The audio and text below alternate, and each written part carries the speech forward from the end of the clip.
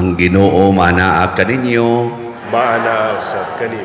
pagbasa gikan sa Santos nga Ebanghelyo sumala ni Lucas. Himayaon ikaw, o Ginoo. Usa ni anak kaadlawng igpapahulay naglakaw si Jesus agi sa kaumahan sa trigo. Unya ang iyang mga tinun-an nangutlog mga uhay sa trigo ug tapos nila kini kusukusua sa ilang mga kamot ilang gikaon ang lugas. Apan pipila sa mga pariseyo miingon nganong nagbuhat man kamo ni anang gidili sa atong balaod nga buhaton sa adlaw igpapahulay. Si Jesus mitubag kanila, wala ba kamo makabasa sa gibuhat ni David sa dihang gigutom siya ug ang iyang mga kauban? Misulod siya sa balay sa Dios ug mikuha sa pan nga hinalad ngadto sa Dios. Unya, mikaon siya niini ug ang iyang mga kauban iya usab nga gihatagan sa pan. Apan gawas lamang sa mga pari, gidid-an ang tanan sa atong balaod sa pagkaon sa pan nga hinalad ngadto sa Dios. Og si Jesus midugang sa pag-ingon, ang anak sa tao maoy magbuot sa angay buhaton sa adlaw igpapahulay. Ang Ebanghelyo sa Ginoo. Daigon ikaw, o Kristo. Ikaduhang adlaw ron sa atong tulo ka adlaw nga pagmisa, pangandam sa atong pagsaulog sa ika siyam nga kasumaran sa pagkatukod nato isip parokya, 9th Foundation Anniversary. Kining simbahan mauni ang giatiman sa mga santos gikan giod ni Hesus ngaris mga apostoles hangtod sa ato mga santo papa o mga obispo kaparian mga relihiyoso relihiyosa nga karon mga balaan na mga santos o santas na. Usa na ni ana or pipila ni ana sila si San Gregorio. Nga atong ipahinungdan karon og si San Vicente Ferrer nga dinis Pilipinas si San Pedro Calungsod San Lorenzo Ruiz eh, Bishop Chupilo Kamumot ug uban pang mga balaang tao giunsa nila pag-atiman ang simbahan nganong mikaylap man ni sa tibuok kalibutan ni abot pag yun dinhi sa San Vicente Liluan unsa ilang gibuhat dito ragod ni sa Jerusalem. Dito ragod ni sa Roma. Nganong niabot man ngani? Hibaw mo. Ilingi ay mong tupad. Ina, hibaw ka. Layo agi abtan aning simbahan na. Unya, dugay na sad kaayo. Dugay, dugay na kaayo ba? Si Kristo nagtudlo lag tulo ka tuig. Tulo ra ka tuig siyang nagtudlo gipatay dayon siya atubangan sa iyang mga tinunan. Unya gilutos dayon sila, gilutos ana usa sa naglutos nila kaning gasuwat sa unang pagbasa si San Pablo. Usanis naglutos gani nagpatay o nagpapriso nila. Bag-o pa lang kay silang gasugod.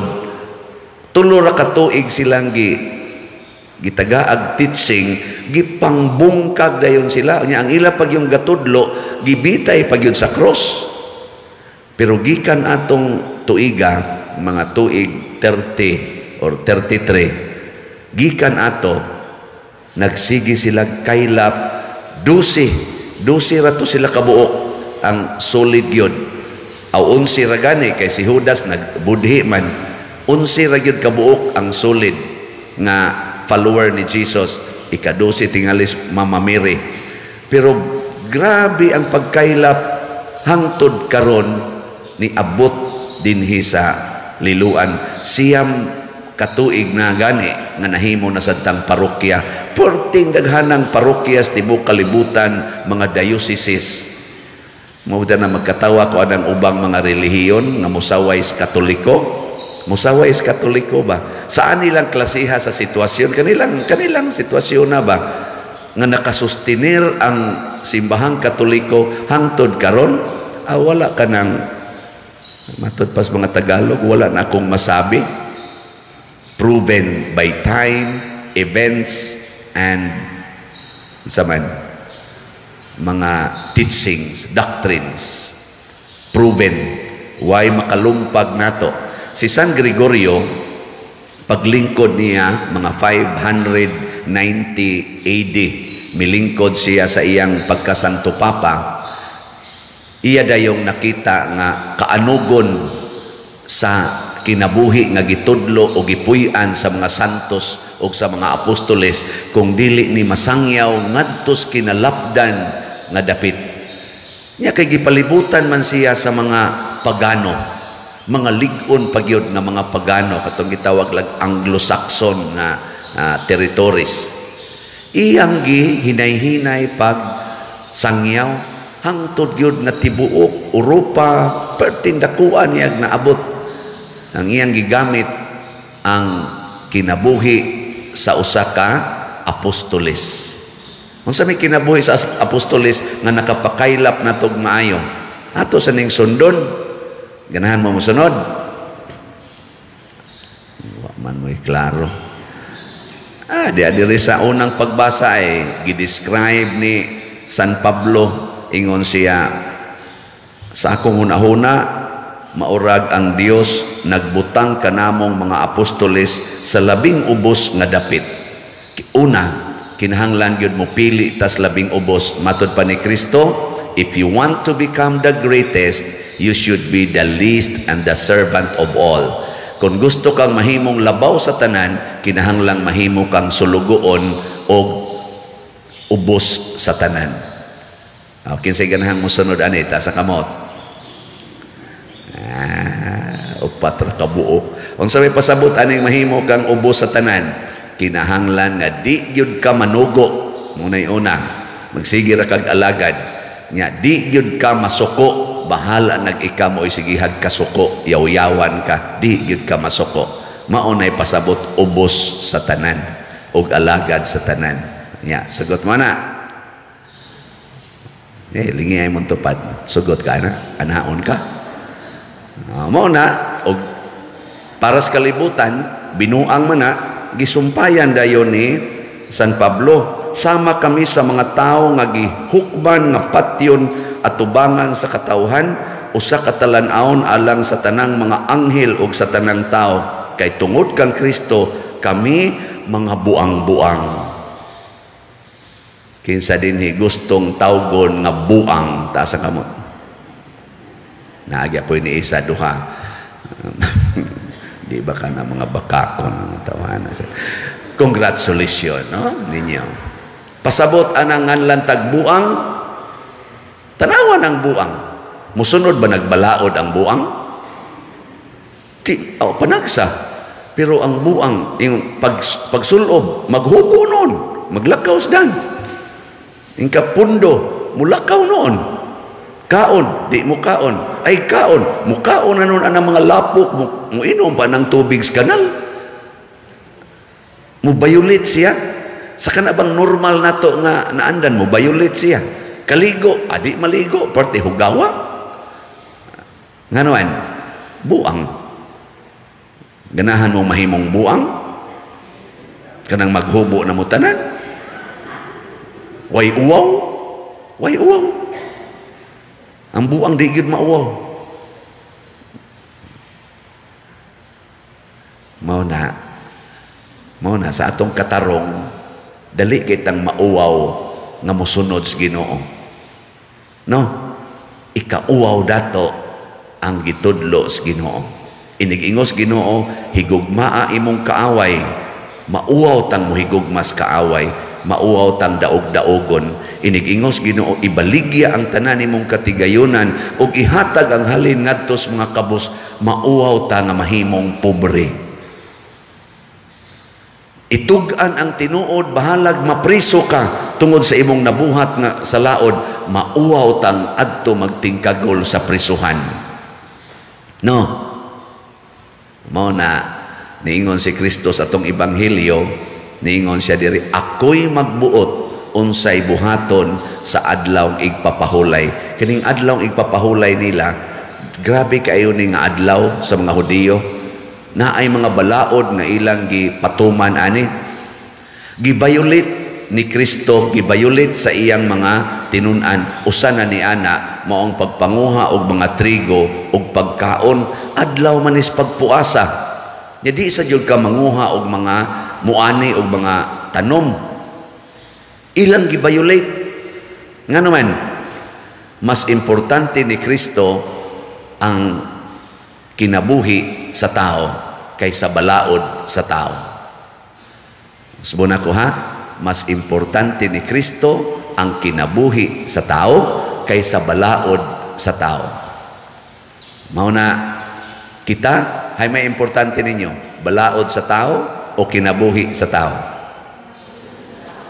Pananglitan ang balaod sa tao, no trespassing, na ay nikatkat sa imong koral og nanguha sa imong mga butang dito sa sulod kay iyang ibaligya para sa siya makakaon. Unsa man? Kasakop nimo aning tawhana imong ipapriso o imong papuyon sa inyo. Kana bang gitawag na to kawatan? Nangawat. Aron lang taon mabuhi. Unsa may imong buhaton? Ipapriso, kulatahon o papuyon sa inyo og tagaan sa tanan niyang gikinahanglan. Kinsay musunod ni Kristo aning panahon ay mo pamakak bantay mo ha? Maunay meaning sa gisugo ni Kristo nga niingon siya pasudla sa inyong balay ang mga way balay. Yan na siya. Kita mo ingon man ta ayaw gyud tudluan pa mga inyong mga bata. Ayaw gyud istoryaan ng mga strangers ha? Ana sila igi ng koral sila di ng koral ana pero si Kristo is ablihi ang koral pasudla ang mga istranyo mga strangers gipuy anis mga santos kining paghigugmas mga kawatan Ah, bisyap chupilo kamomot, highlighted kay na niyang iyang paghigugmas kawatan, paghigugma ang mga tulisan, paghigugma ang mga mangingilad. Oh, na iya. Unsa man na? Binuang sa kalibutan. Violation sa human right. Violation sa atong balaod. Pero anang balaod nga kinahanglan duharay atong anak kay ma-overpopulated ta. Tuong wana dili. Musunod mo ana dili. Uy, daghan kay musunod ana. Hadlok na kayo makaanak og lima, hadlok na kayo makaanak og napo kabuk anak. Karong panahon na, gasunod anak nga duha ra gyud kabuk anak kay maunay nindot nga kinabuhi. Nya pagpalaygit na inighuman sa duha. Pag pills, pag kondom, pag IUD, pag withdrawal, unsa pala himuon diha? Mao atong gipanudlo ros kalibutan. Ang Ginoo imong pangutanon, iya nang i-violate. Moingon na siya, ang Ginoo mo'y magbuot pila kabuk anak. Ana. Eh, lingay mong tupad. Yung na siya, gusto kang mahimong buang? Mahimo kang buang? Sunda ang Ginoo? Matod pan San Pablo, mura na lang kuno sila basura nga giplutos, giyatak-yatakan, giludan, gibutang sa daplin. Pero ang ila kunong gibaos sa kalibutan, mao ang pagpaubos, ang kaaghop, ang pagampo. Ug mao na nga nakatubag ta sa atong salmo, unsa may atong salmo? Haduol ang Ginoo sa tanan nga nagasangpit kaniya. Pasabot ang ato ragyong sangpiton ang Ginoo. Ang ato ragyong saligan ang Ginoo.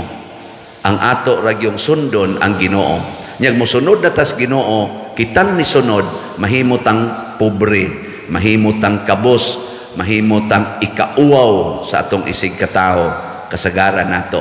Pero ayaw kabalaka, inigbali ni ana, ikaw sa'y pinakasikat. Ikaw sad mo ay pinakahalangdon Kay matod pa ni Kristo ang nagpaubos akong ipataas.